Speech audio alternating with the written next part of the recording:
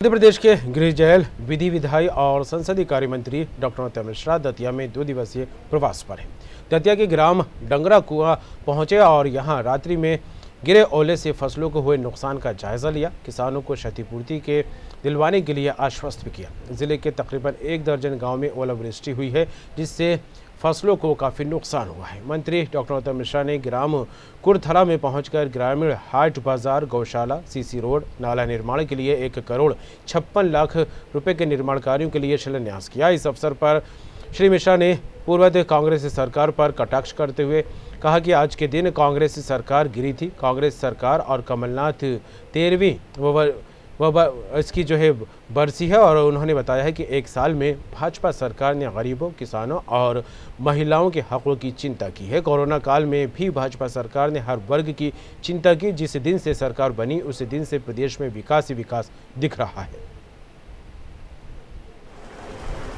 नवीन गौशाला निर्माण और चारा के लिए ना। दूसरी गौशाला के लिए बोल रहा हूँ ये तो एक बन गई चौबे जाना है तो दूसरी। नवीन गौशाला का निर्माण और चारागाह का निर्माण, पुरथरा तिरपन लाख रुपया की बनेगी बड़ी वाली है तरल और ठोस अपशिष्ट प्रबंधन ग्राम पुरथरा, छब्बीस लाख रुपया।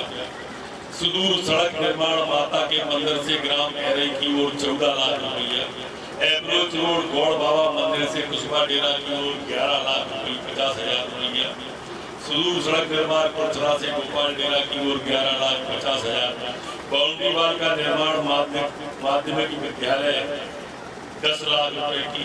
अप्रोच रोड निर्माण मुख्य सड़क से गौशाला होते हुए खेल मैदान की ओर सात लाख रुपया ऐसे अगले साल जो आ रहा है, एक साल हम आपके गाँव पे खर्च करेंगे। एक करोड़ छप्पन लाख सोलह हज़ार।